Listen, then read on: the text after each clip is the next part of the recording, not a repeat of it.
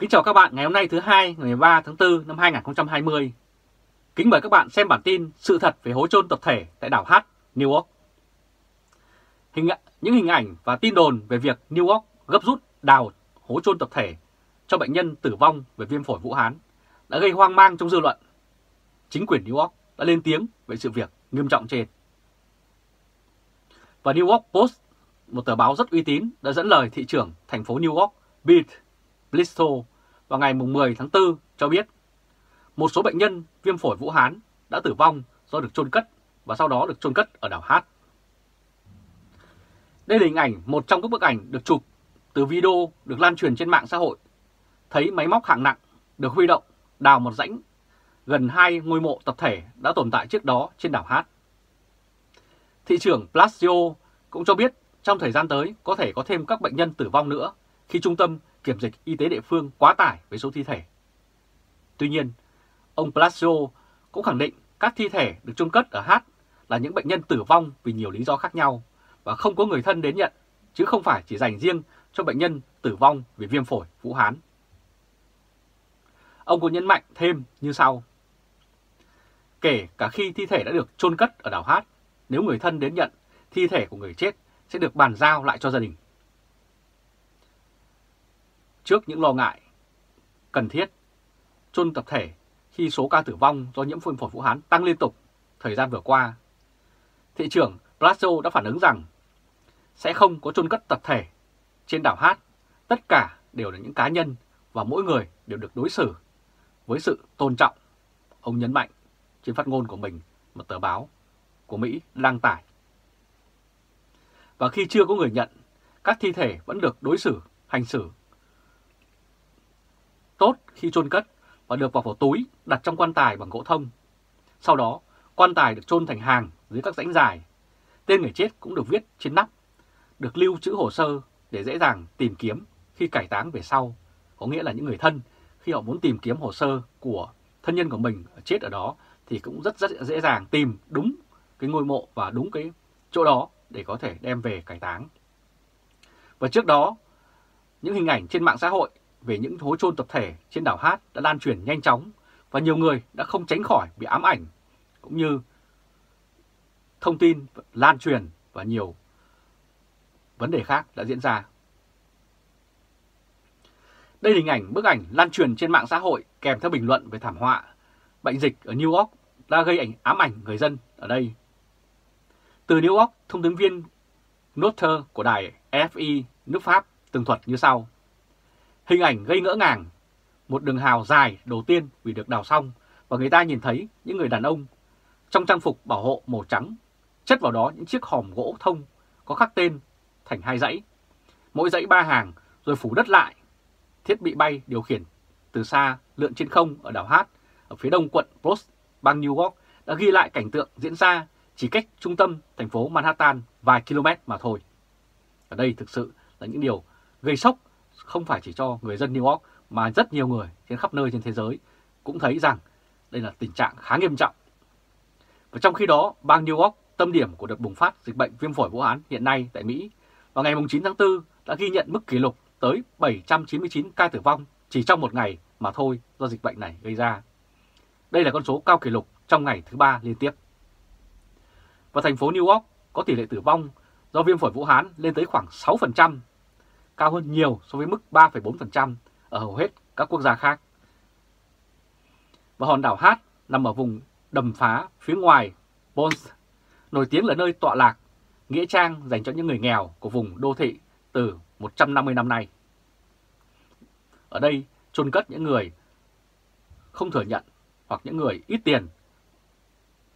Đây là hình ảnh vệ tinh chụp đảo Hát giới chức uh, thành phố sử dụng đảo Hát làm nơi chôn cất tập thể cho những người không bà con thân thích hoặc những gia đình không thể trang trải việc chôn cất bình thường.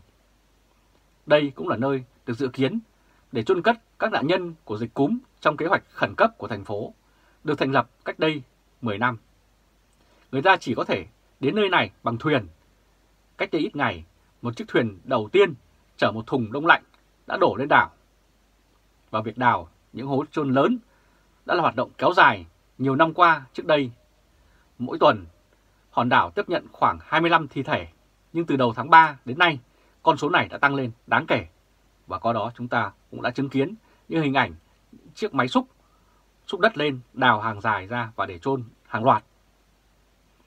Theo sở cải tạo của New York, ờ, đơn vị chịu trách nhiệm mai táng trên đảo hiện nay mỗi ngày có khoảng 25 thi thể được chôn cất. Lực lượng mai táng phải làm việc 5 ngày trong tuần thay vì một ngày trong tuần như trước đây. Và trước hiện nay, các tù nhân tại trại giam trên đảo Ricker đảm nhận công việc chôn cất và được nhận một khoản tiền nhỏ. Thế nhưng mới đây, các quan chức ở New York cho biết họ đã thuê nhiều lao động hơn và có hợp đồng đến đảo để hỗ trợ trong bối cảnh số ca tử vong ở thành phố đạt mức cao kỷ lục những ngày vừa qua. Và chắc chắn trong thời gian tới, việc chôn cất này cũng như việc phải hàng loạt xử lý hàng loạt những người chết sẽ còn diễn ra ở ngay trên hòn đảo này, nơi dành riêng cho những việc chôn cất, nơi không có thừa nhận hoặc những người nghèo. Và ngoài ra, ông Jackson, người phát ngôn của Sở Cải tạo New York cho biết thêm, do quy định giãn cách xã hội và để đảm bảo an toàn cho trại giam trước viêm phổi Vũ Hán, tù nhân sẽ không tham gia vào các đội chôn cất nữa. Và điều này hoàn toàn đúng, vì khi họ tham gia chôn cất thì có thể mang theo virus Vũ Hán mang về nhà tù và như vậy sẽ lây tiếp ra những người khác ở trong nhà tù. Và như vậy là thành một thảm họa. Và ngoài ra, chính quyền cũng cân nhắc dùng hòn đảo này làm điểm tập kết thi thể tạm thời vì nó quá nhiều. Đây là hình ảnh một bác sĩ đang đi bên ngoài trung tâm y tế Warcroft ở ờ, tại quận Berkeley, thành phố New York ở Mỹ vào ngày 10 tháng 4 năm 2020. Theo anh David, người phát ngôn văn phòng giám, giám định y tế, cơ quan này chỉ có thể chứa từ 800 đến 900 thi thể trong các cơ sở của mình và 4.000 thi thể trên 40 xe tải đông lạnh vốn đang hỗ trợ nhiều bệnh viện có nhà xác hạn hẹp. Trong khi đó, với đảo Randa nằm ở phía nam đảo Hát, chính quyền sử dụng làm nơi đậu xe tải đông lạnh để chi viện cho các cơ sở y tế tiếp nhận bảo quản các thi thể. Ông Gracio hồi đầu tuần cho biết các nghĩa trang công cộng ở thành phố cũng có thể được sử dụng để chôn cất nạn nhân của đại dịch này. Và các bạn cũng đã chứng kiến trong những hình ảnh phát hình trước hàng loạt những cái xe container dài nối đuôi nhau đậu bên cạnh những cái nhà bệnh viện để sẵn sàng đưa bảo quản xác. Ông Mark Leff, Ủy viên Hội đồng thành phố New York, nói cách đây ít lâu cũng đã đưa ra đề xuất chôn cất tạm thời các thi thể tại một số công viên. Ông Levin cho biết như sau, quá trình chôn cất sẽ được thực hiện trang nghiêm và trật tự. Bên cạnh đó, tiểu bang New York trong tuần này cũng đã ghi nhận số bệnh nhân viêm phổi Vũ Hán nhiều hơn bất kỳ quốc gia nào trên thế giới và dường như con số này ngày càng tăng và chưa có điểm dừng. Đây là hình ảnh khu Manhattan là quận có mật độ dân số đông nhất thành phố New York, là trung tâm kinh tế và thương mại và cũng là nơi khai sinh lịch sử của thành phố. Tính đến ngày 11 tháng 4, New York có tổng số 181.026 trường hợp, cao hơn Tây Ban Nha tới 161.000 trường hợp và Ý tới 152.000 trường hợp. Hai nước này có dân số lớn hơn New York nhiều lần. Thành phố New York và các quận ngoại ô của nó gồm Nassau đã chiếm 93% tổng số trường hợp trên toàn tiểu bang bị nhiễm. Và thống đốc bang New York, ông Cuomo từng nhiều lần nói rằng chính mật độ dân cư đông đúc cộng thêm số lượng du khách nước ngoài tới thành phố New York quá nhiều đã khiến nơi đây trở thành một mảnh đất thuận lợi để bệnh dịch hoành hành và bùng phát nhanh đến thế và dẫn đến thảm cảnh rất nhiều người bị nhiễm và số lượng người chết cũng tăng cao không ngừng tại New York. Và New York là thủ phủ tài chính của nước Mỹ, có 8,6 triệu dân, tương đương mật độ 10.000 người trên 1 km vuông, cũng là thành phố có mật độ dân cư đông đúc nhất ở Mỹ. Và chính vì mật độ dân cư đông, cho nên sự giãn cách xã hội rất khó khăn, và đấy là có điều kiện rất tốt cho virus cúm Vũ Hán phát triển và lây lan. Hàng triệu người đứng cạnh nhau trên các tuyến tàu điện ngầm đông đúc đi về mỗi ngày. Và bên cạnh đó, việc duy trì khoảng cách ở mức độ cần thiết để phòng lây nhiễm đôi khi rất khó khăn trên những vỉa hè chật hẹp. Và mỗi năm, trung bình thành phố New York đón nhận hơn 60 triệu du khách. Đây cũng là cửa ngõ để vào nước Mỹ với rất nhiều du khách khác nhau. Điều này có nghĩa nếu có ai đó đang mang mầm bệnh thì gần như chắc chắn họ sẽ lây nhiễm cho những người khác và đầu tiên là ở thành phố New York đông đúc này. Và siêu đô thị New York có một đặc điểm nữa là tình trạng chênh lệch kinh tế xã hội rất sâu sắc. Có những khu vực quá đông dân và khó khăn hơn, đặc biệt tại hai quận Bronx và Queens là những nơi vốn đã có nhiều người đau ốm và thiếu điều kiện chăm sóc sức khỏe, cũng là nơi có tỷ lệ lây nhiễm bệnh cao nhất. Vì ở đây, việc phòng dịch cũng như vệ sinh và giãn cách xã hội là rất khó khăn, mật độ dân số rất đông và điều kiện của họ cũng không được cao. Và một hy vọng le lói là tình hình dịch bệnh đang diễn biến trái chiều tại New York. Trong khi số người chết tại đây trong tuần qua tăng cao kỷ lục, thì số người nhập viện vì viêm phổi Vũ Hán lại đang có xu hướng giảm xuống. Và có lẽ đây là một phần trong những kết quả của việc giãn cách xã hội ở đây, cho nên cái sự lây nhiễm nó chậm đi.